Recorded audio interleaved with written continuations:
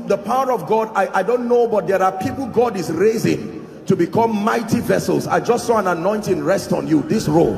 In the name of Jesus, I don't know where you are, but I pray may that grace now, let it rest upon you and shift you to a new dimension. In the name of Jesus Christ. Welcome to Christocentric Message.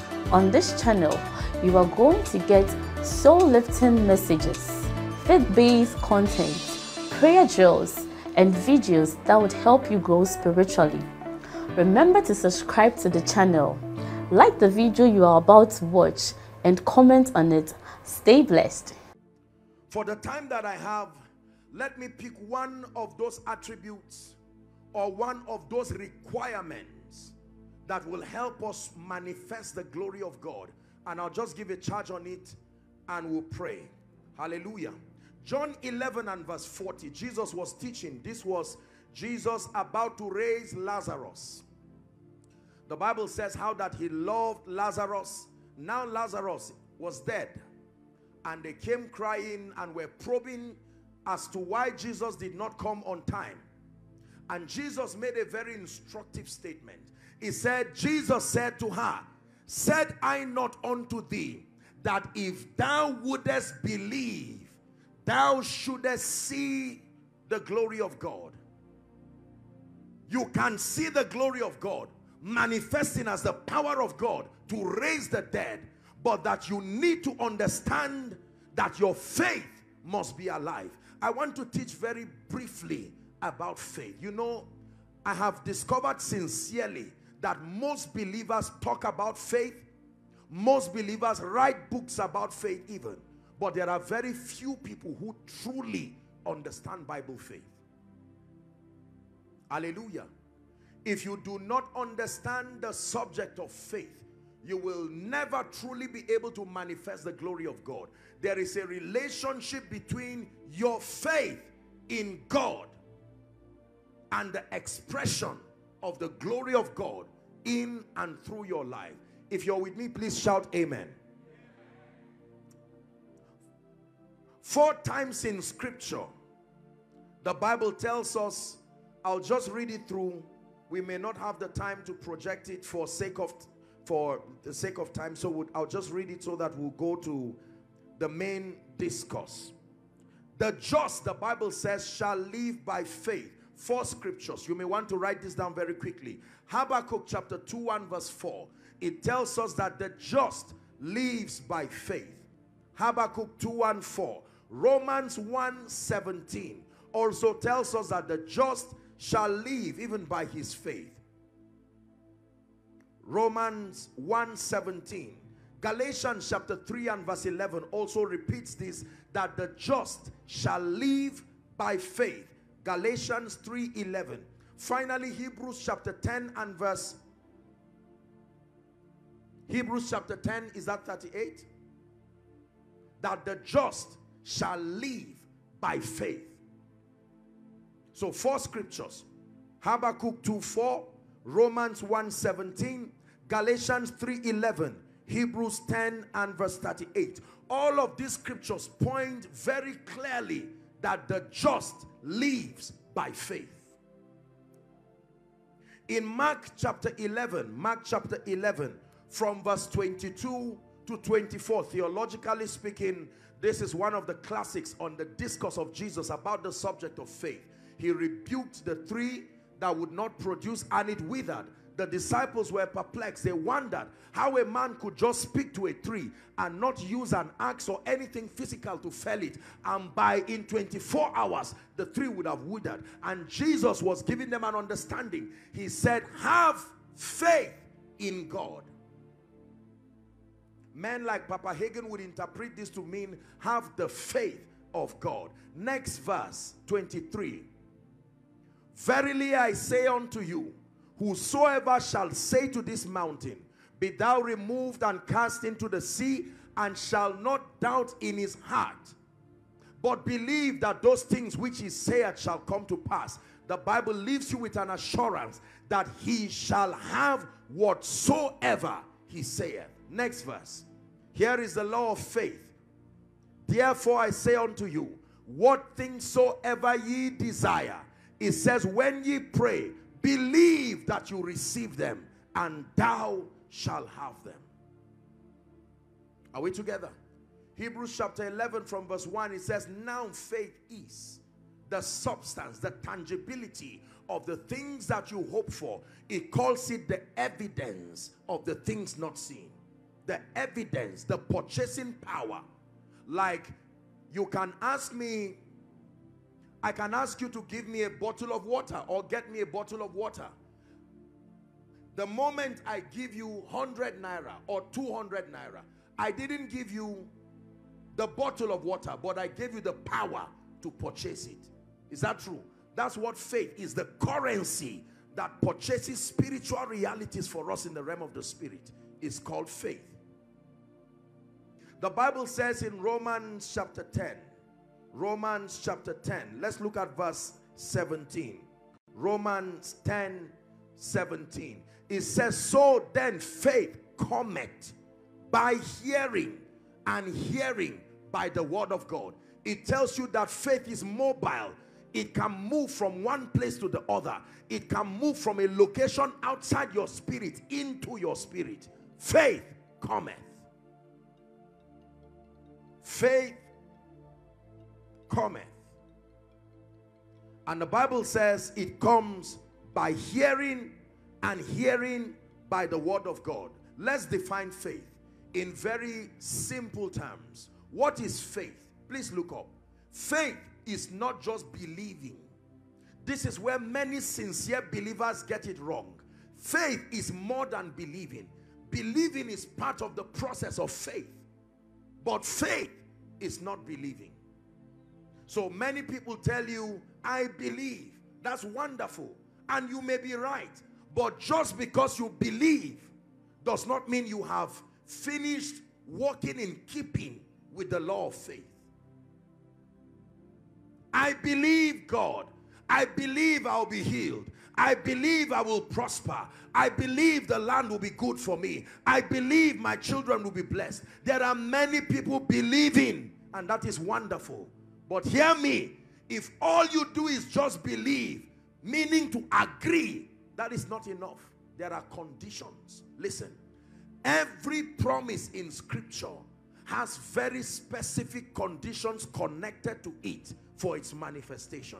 Believing is one of the requirements, but not the only requirement. Are we together? Let's define faith.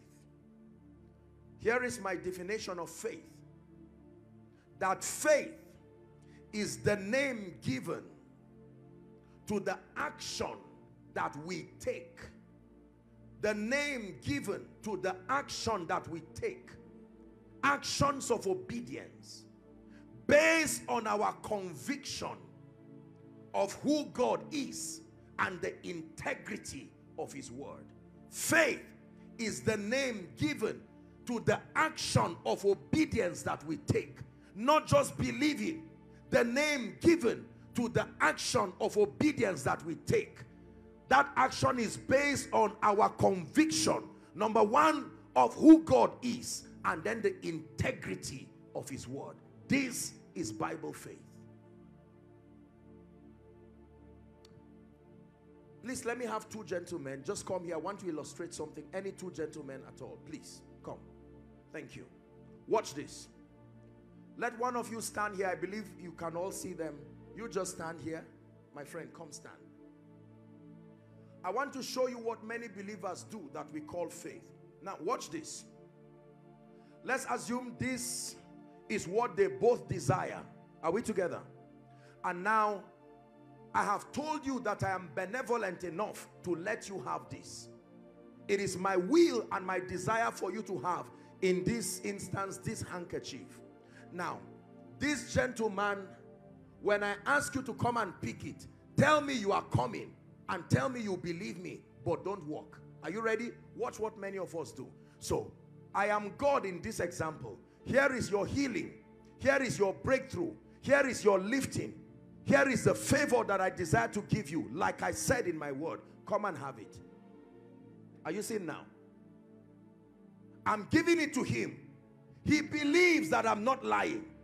And yet he does not have it. Five years, he's not had it. Ten years, he's not had it. Fifteen years, he's not had it. His pain now begins to build a theology about God that God cannot reward. Just because he has been 15 years practicing what he believes to be faith, he will mentor other people after his limitation. That all it takes is to just believe. Now, I'm not being critical. I hope you understand what I'm saying. Then comes this fine young man who now understands what faith is. Now, when I ask you, you speak and walk to me. The condition is that you walk to me. Come, pick this. In one year, he has gotten it.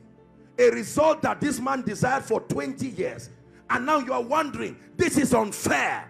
Because faith is not just believing. Faith is fulfilling the condition attached to commit God. The Bible says, having the readiness to judge all disobedience if your obedience is complete. In one word, faith is obedience. In one word, faith is obedience. In one word, faith is obedience. If there is no obedience component to your definition of faith, it is not Bible faith. There may be speaking, there may be crying, there may be praying, but if it does not culminate to obedience, in fact, you can even take action. If it's not an action of obedience, it is still not faith. Back to my example, one more time. Please stand, gentlemen. If I ask you to come here, walk to that gentleman, come and pick this. He is taking action, but it's not an action of obedience. He will still suffer like the person who did not take action. Many people are taking action based on what they think should produce results. You don't just act the way you want. You act, you, I prophesied as I was commanded, not as I wanted. Are we learning? Thank you, gentlemen. God bless you. So faith in one word is obedience. Obedience to the scriptural requirements. The scriptural requirements that commit God to reveal his glory in you.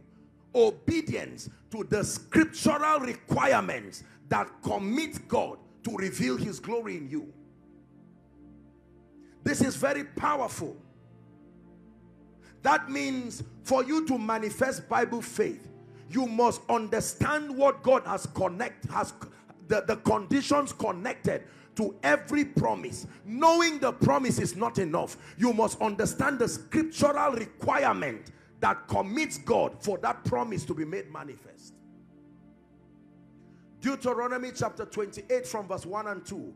For sake of time, the Bible says, And it shall come to pass, if thou shalt diligently hearken to the voice of the Lord thy God, to observe to do, observe to do not just to know, observe to do all his commandments, which I command thee this day. It says that the Lord thy God will set thee on high. This is the promise. Claiming that you will rise above the nations is wonderful, but it will only end you in frustration. There is a condition attached to it.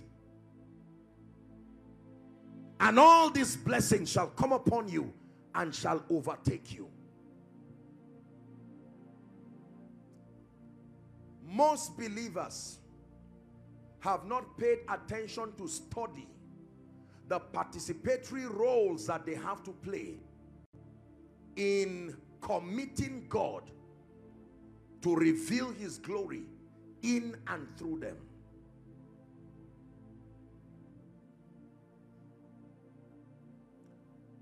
Whilst Ebed was ministering, I just sat there and I was enjoying the song but I was also enjoying the excellence. And I thought to myself, look at this man acting my message. I could see a display of competence, not just the spirituality. And you would think it's just grace. It is grace, but it is the enabling grace because something was done. excellence has an equation. Something plus something equals excellence. Are we together? You will have to find out the price of competence and rehearsals and discipline and diligence that produce what you celebrated as the manifestation of the glory of God. Now, when you see the glory of God in this on display, it doesn't look like anything was done to prepare them. Remember, the nation of Israel wanted to see the glory of God. And he told them, here is the condition. You are going to go through constraints for three days. Sanctifying yourself if it is that glory you want to see. There is always a condition. Please look up. You want to prosper in the kingdom and manifest the glory of God is not just about claiming prosperity and jumping up and down. There are laws that you must walk in keeping with that enable that dimension of glory to be revealed in you. For instance, the law of diligence. For instance, the law of relationships. For instance, the law of creativity. These are all principles that synergize themselves together.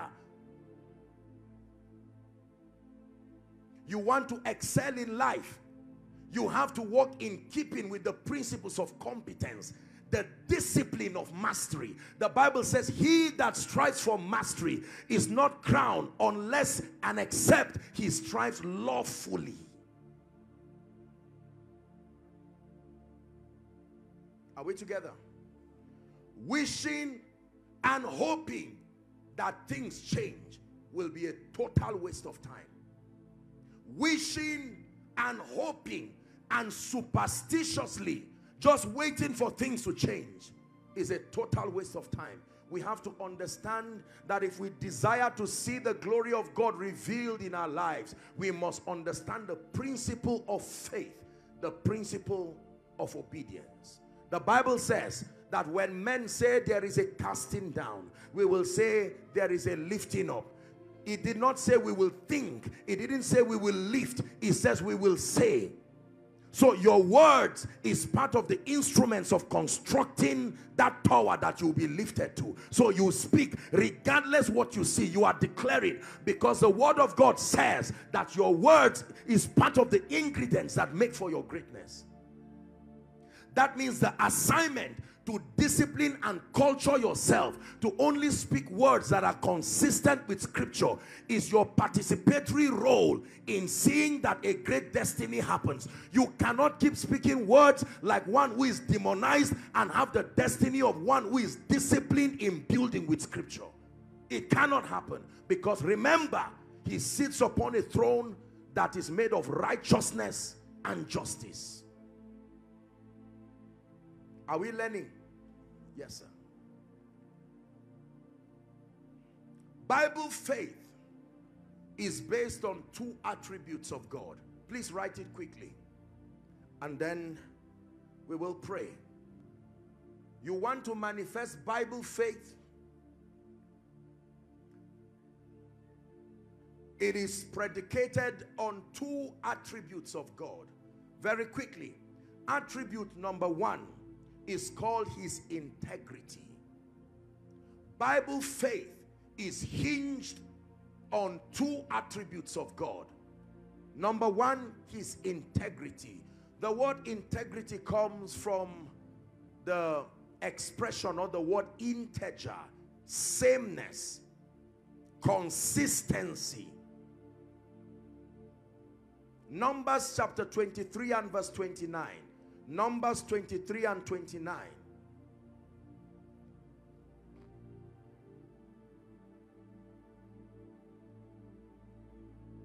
Numbers chapter 19.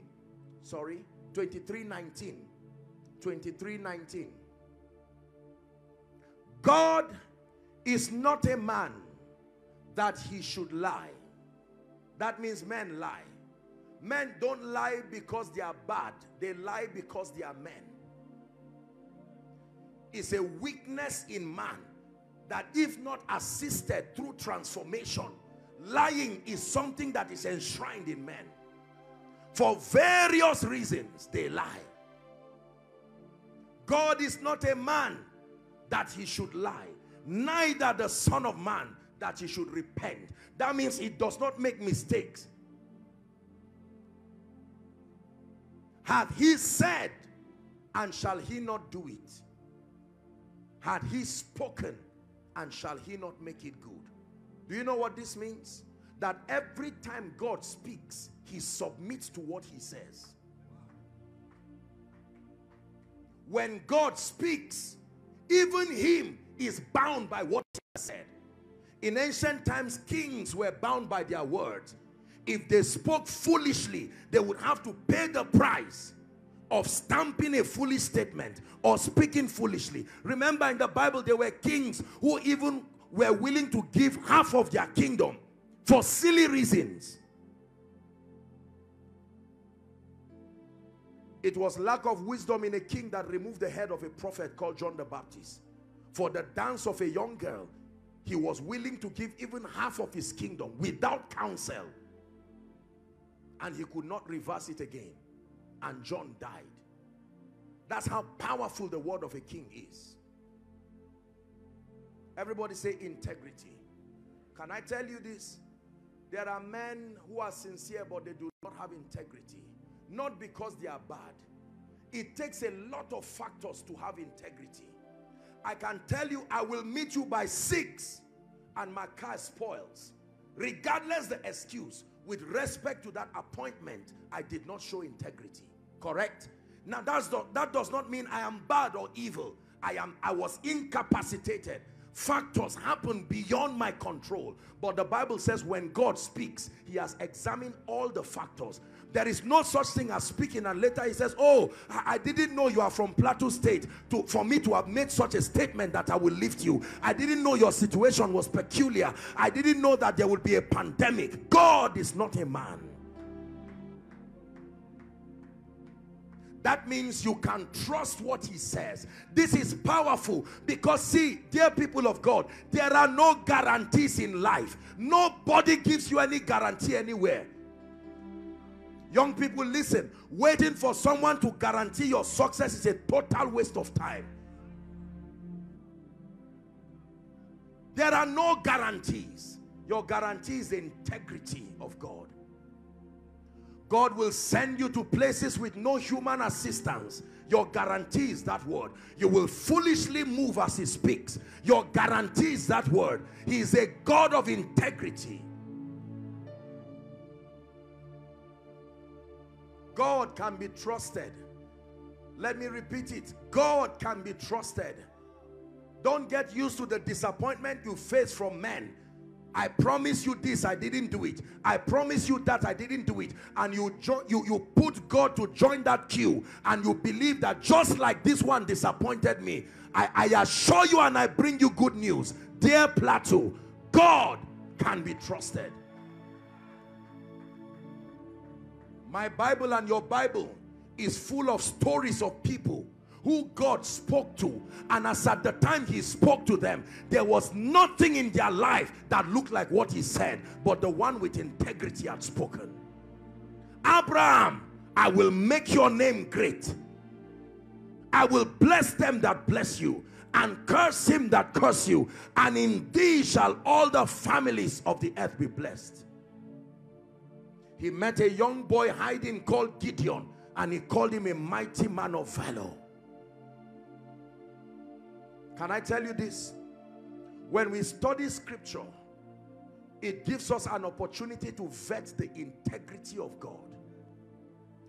God is not afraid to allow you probe his integrity. The Bible is a compendium of God's integrity that you search for yourself.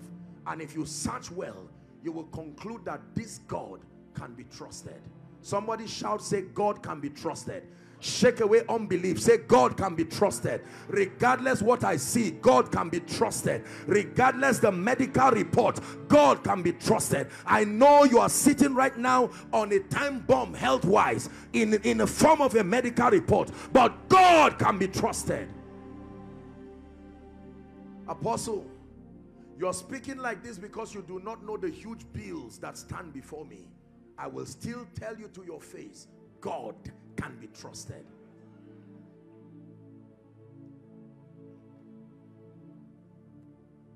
Is someone learning tonight? There are probably men of God here, respectfully speaking. You are saying, oh, the reason I'm not succeeding in ministry is because I'm in Jos or because I'm not from the plateau by, by tribe or whatever. Believe me, those things may be very sincere consolations, but that's not the reason. God can be trusted. Ask the man Daniel. He reigned through the dispensation of three to four kings. What is on you is what determines what is around you. You can create through your faith a system of exemption. Are we together? I want to drum it to your heart. He has integrity and he can be trusted. There are men who can fail you. There are men who can disappoint you. There are offices you may enter in Nigeria where someone will tell you, I promise you, by this time next week, if you are still in this position, call me stupid. And three years later, you are still there.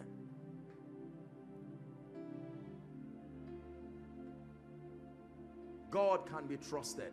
Someone turned that into a prayer in one minute. God can be trusted. His integrity. Go ahead and pray. Please pray. God can be trusted. Shake away unbelief. Lord, I believe what you told me about my children.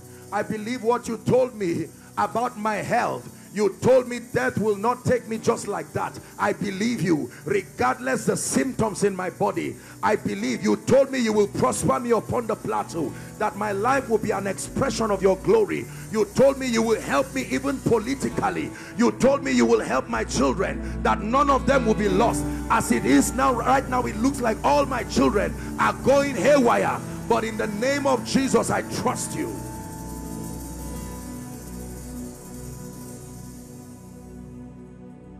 There are kings, there are kingdoms, there are mountains and there are thrones.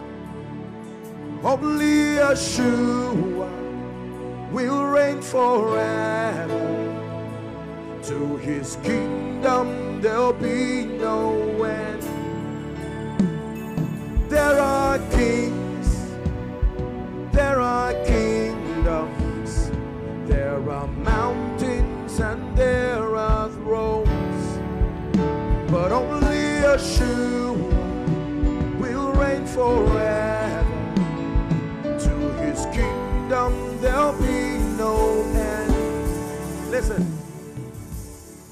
There are names. There are offices. And even in that regard, they are powerful. For instance, the president of any nation is powerful. Even as men, they can change your life with one signature.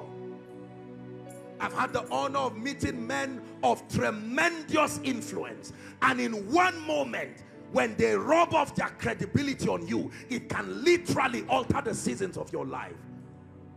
If men can do that, ladies and gentlemen, I present to you the monarch of the universe. the one who is not threatened by the pride of man. They can say where is your God? And he's still seated on the throne. If he vows a vow concerning your life then let God be true and all men liars. Let God be true and all systems liars. Your assignment is to believe in that God please sit down only Yeshua will reign forever can I tell you? Can I tell you?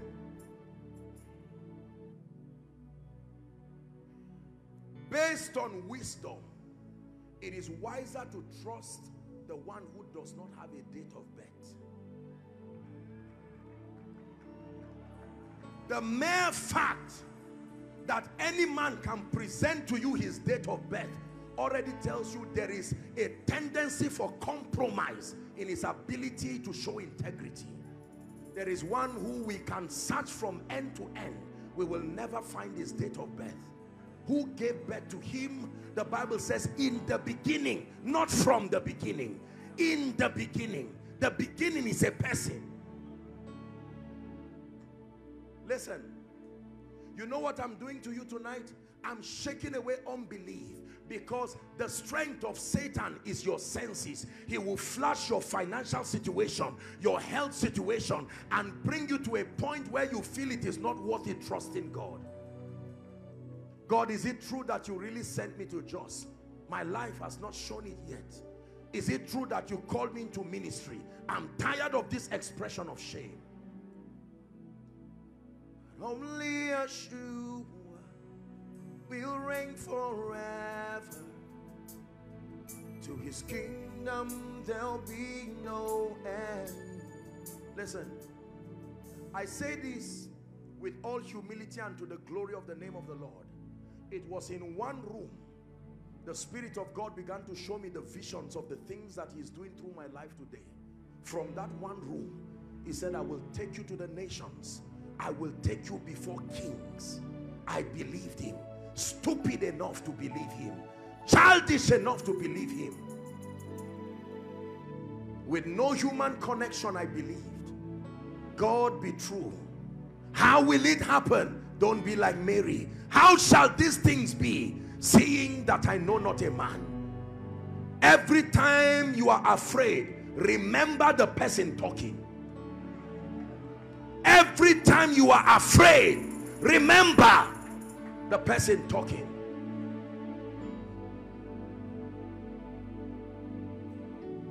He told me, as you travel around, you will have the power to heal the sick.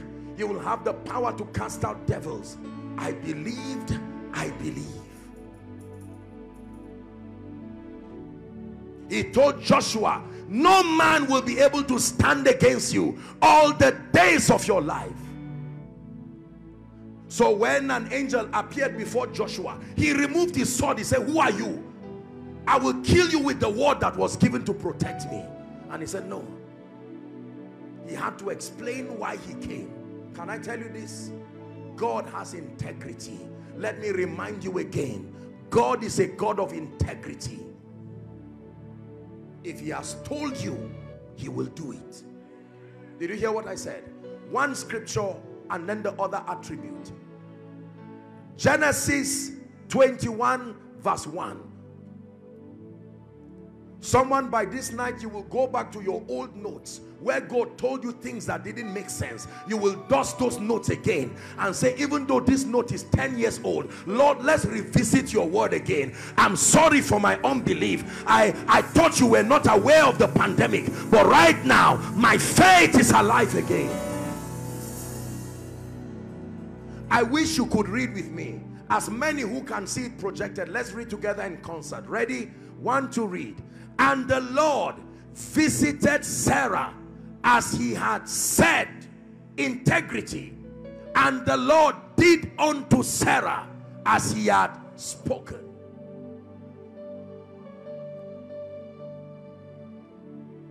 Listen, every man you see in ministry, in business, in government, in academics, any man doing anything uncommon today, I can tell you, probe them and if they are sincere, they will tell you.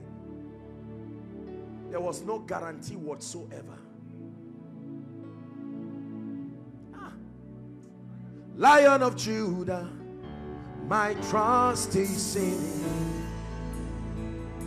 I am that I am, my trust is in you. You're the lion of Judah. My trust is in you. I put them on me. My trust is in you. Dearly beloved, I hope you were blessed by this message. Do not keep the video to yourself. Share to as many as you can to help them bless.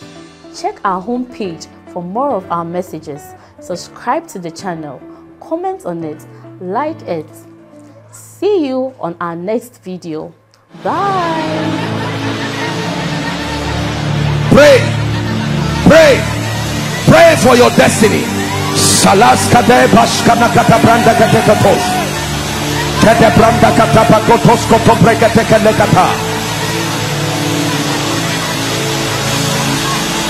The phase of development Lord, grant me the